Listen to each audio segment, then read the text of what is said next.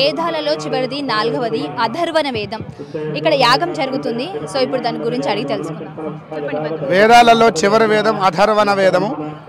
ఈ వేదం ఏంటంటే తాంత్రిక విద్యకు సంబంధించినటువంటి విద్యలన్నీ ఇందులో ఉంటాయి. ఇప్పుడు ఇంతకుముందు చెప్పినట్టుగా అటు అమ్మవారికి కానీ ఇటు అయ్యవారికి కానీ ఈ నాలుగు వేదాలు చాలా ఇష్టము.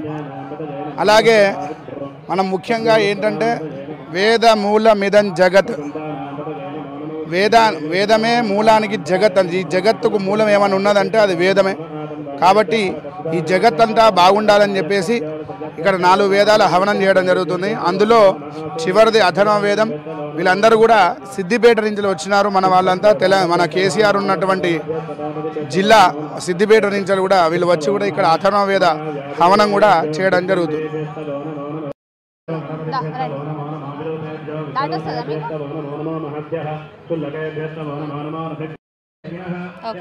ఇక్కడ సుదర్శన హోమం జరుగుతుంది. అలాగే వెనకాల మనం చూసినట్లయితే శ్రీరామచంద్రుల వారు సతీ సమేతంగా లక్ష్మణ్తో సహా ఉన్నారు. శ్రీచక్రంతో సహా ఉంది ఇక్కడ. అసలు ఇక్కడ స్పెషాలిటీ ఏంటి అనేది మనం అడిగి తెలుసుకుందాం. పంతులు గారు చెప్పండి.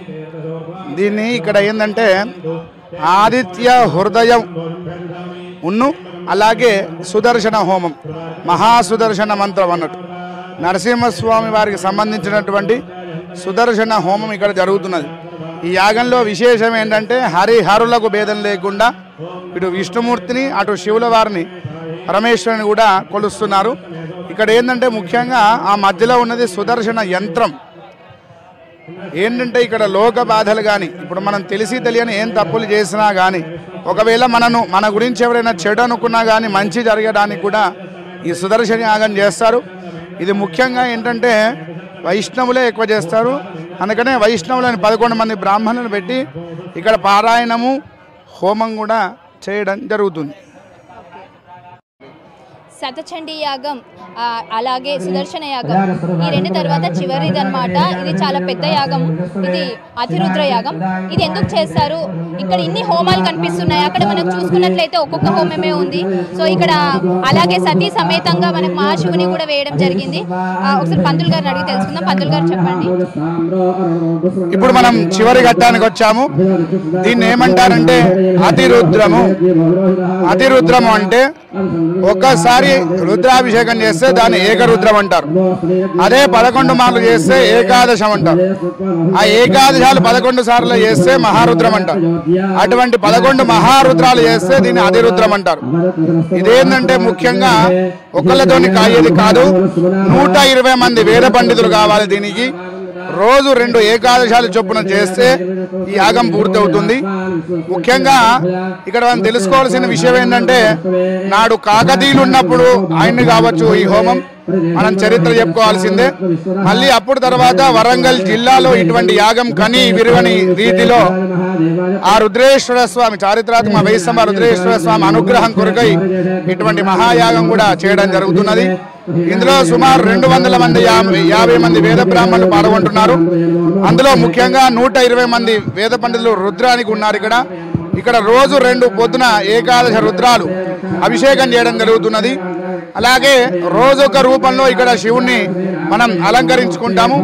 ఈరోజు వైస్తంభాల దేవాలయంలో స్వామివారి ముఖం రజత ముఖం కూడా ఇక్కడ అలంకరించుకొని ముందర మనకు మృడేశ్వర్ మృడేశ్వర్లో ఉన్నటువంటి శివలింగాన్ని కూడా ఇక్కడ మనం చేసుకోవడం జరిగింది. అలాగే ఇక్కడ విశేషం ఏంటంటే ఎక్కడైనా మనము శివుణ్ణి నల్ నల్లగా రూపంలో చూస్తాం రాతి రూపంలో. ఇక్కడ మర్కద రూపంలో ఉంటుంది అన్నట్టు అది శృంగేరి నుంచి ప్రత్యేకంగా తెచ్చి ఆదిత్యాత్మక శ్రీరుద్ర అని ఆయన పిలుస్తారు. వారికి ప్రత్యేకంగా ఇక్కడ అభిషేకం కూడా చేయడం జరుగుతున్నది. అలాగే మీరు చూసుకున్నట్టుగా అయితే ఇక్కడ పదకొండు గుండాలు ఉంటాయి హోమగుండాలు ఇవన్నీ కూడా లాస్ట్ రోజు ఏవైతే మనం నూట ఇరవై మందితోని అభిషేకం చేశామో తద్ దశాంశ అలాగే ఒక అతి మహారుద్రాన్ని ఇక్కడ హోమం కూడా చేయడం జరుగుతున్నది. అండ్ అలాగే పంతులు గారు కింద మనం చూసుకున్నట్టయితే ఆ, మొన్న మహాశివుడిది నిన్న సతీ సమేతుడి అనే శివుడిది ఈ రోజేమో శివలింగాన్ని ఇట్లా వే- ప్ర- వేశారు కదా కింద దాన్ని శాండ్ డిజైన్ టైప్లో ఎందుకలా రోజు ఒక అవతారంలో వేయడం జరుగుతుంది? అదైతే మనకు దశావతార అందరూ తెలుసు కానీ రుద్రునికి కూడా ఏకాదశ రుద్రులు అన్నాడు ఏకాదశ అవతారాలు ఉంటాయి పదకొండు అవతారాలు ఉంటాయి. అందులో రోజు ఒక అవతారం ఇక్కడ చేయడం జరుగుతున్నది. కాబట్టి అందుకని అదే రూపంలో మనకి ఇక్కడ అలంకరించడం జరుగుతున్నది. అలాగే మనం మండపం మీద చూస్తుంటే శివపార్వతులను స్థాపించి రోజు ఒక పూజ కూడా నిర్వహించడం జరుగుతున్నది. ఇలా విశేషం ఏంటంటే మనకందరికి కూడా చతుర్వేదాలు అక్కడ హోమాలు అయితే రాత్రిపూట స్వయంగా హారతి మంత్రపుష్పాంతర్గత నాలుగు వేద పారాయణాలు కూడా ఇక్కడ జరుగుతున్నది. ముఖ్యంగా ఏంటంటే నా రుద్రో రుద్రమచ్చయేత్. అంటే రుద్రుణ్ణి అర్చించాలంటే ఎవరైనా కానీ రుద్రునిగా మారాలని వేదం చెప్తున్నది. కాబట్టి అంటే ఇప్పుడు ఇక్కడ కూర్చున్న బ్రాహ్మణులందరూ కూడా రుద్ర స్వరూపమే కాబట్టి ఆయనను పూజించడానికి ఇంతమంది బ్రాహ్మణులు ఇక్కడ తీసుకొచ్చి ఇలా ఇలా కూడా నిష్ణాతంగా మామూలుగా కాదు.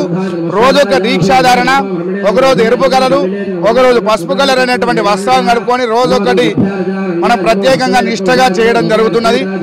ఇటువంటి కార్యక్రమం నాడు రాజులు చేశారు. ఇప్పుడు తాటిపల్లి శ్రీనివాసరావు రోజారమణి ఈ దంపతులు చేస్తున్నారు. వాళ్ళ వంశాభివృద్ధి అవుతున్నది.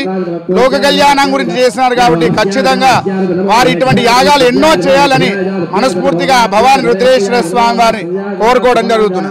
అండ్ అలాగే మనకు దేవుని ఎన్ని రకాల పళ్ళు పూజలతో పూలతో పూజించడం జరుగుతుంది. అమ్మా ఈ పూజతోనే ఈ పూజతోనే చేయాలని లేదు.